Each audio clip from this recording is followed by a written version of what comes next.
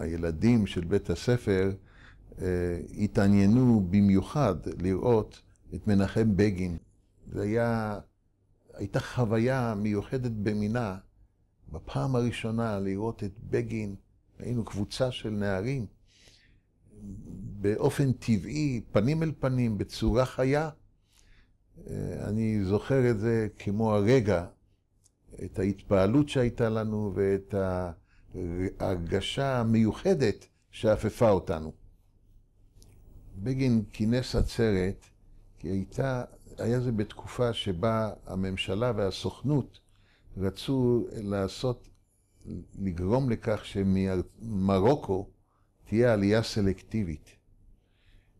בגין, כששמע על הדבר הזה, ממש עלה חרון אפו, כינס עצרת המונים בכיכר מנורה, ונאם נאום שלא יישכח על המשמעות של עלייה סלקטיבית כשיש חוק השבות, כשמדינת ישראל קמה כדי לרכז כאן את העם היהודי, עלייה סלקטיבית, זקנים וחולים לא יובאו על ידי ממשלה יהודית ומדינה חופשית שקמה. הוא ציטט את הנביא זכריה שאמר שעוד אה, יהיו ברחובות ירושלים נער וטף זקן וזקנה וכל אה, הגוונים והגילים והמצבים שבני אדם נמצאים בהם. ואני חושב שדבריו אה, עשו רושם מיוחד, ההחלטה הזו בסופו של דבר בוטלה. בלי הצירוף המשותף הזה של חירות, שהייתה מפלגה מנודה, והייתה ממש מנודה ביישוב. הצירוף הזה של ציונים כלליים, ליברליים, יחד, לא כתנועה אחת, אבל כגוש אחד, הביא לתמורה מכריעה ביחס לתנועת החירות. מי שהבין את זה היטב, מכל ראשי תנועת החירות של הימים ההם, היה בגין. לכן בגין גם הציע שבשיתוף הזה יהיה מה שנקרא פריטי, 50-50. הנהלת גח"ל, 50% ליברלים, 50% חירות. אותו דבר הנהלת הסיעה בכנסת.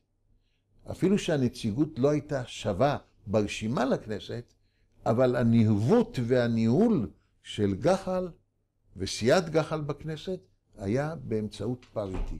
זה תרם תרומה חשובה. ההבנה הזו של בגין הביאה בסופו של דבר לחילופי השלטון. בגין הוצג עד שהיה לראש ממשלה כאיש עם קרניים על ידי יריביו הקשים. איש עם קרניים, מנגח, אדם שיש לו ניגוח מתמיד. איש מלחמה ואיש שלא מכיר בזכויות העובד. לשבות, שבירת שביתות. עד מהרה הוכח לכל מי שהיה זקוק שבגין הוא דמוקרט ממדרגה ראשונה. איש שונא מלחמה,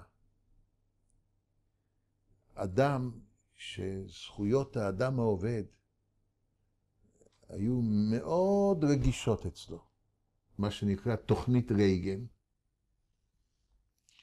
למזרח התיכון. בגין היה בחופשה בנהריה, חופשה קצרה של כמה ימים,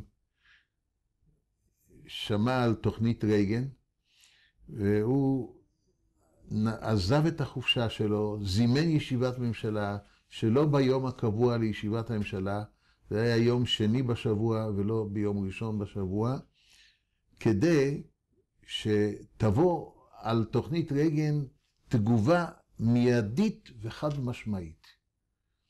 הוא הכין הודעה או הצעת החלטה לממשלה, שהפכה אחר כך להיות הודעה, והוא שלל אותה אה, מכל וכול, וכאן הוא פעל כמנהיג לאומי, מנהיג ומדינאי.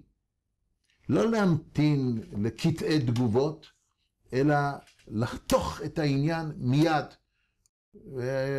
עקב ההודעה של בגין והעמדה שהממשלה הביעה אה, לפי הצעתו, תוכנית רייגן למעשה אה, שווקה חיים לכל חי. בגין היה אדם גדול.